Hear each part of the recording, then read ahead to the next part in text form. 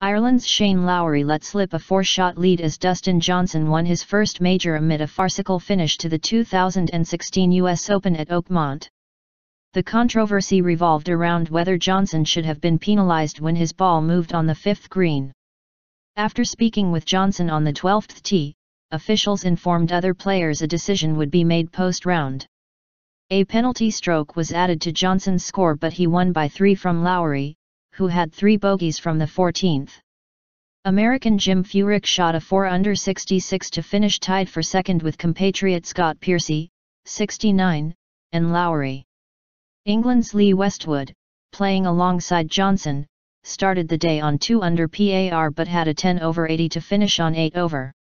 The United States Golf Association, USGA, later said they wanted Johnson to know of the potential one-shot penalty so he could play accordingly.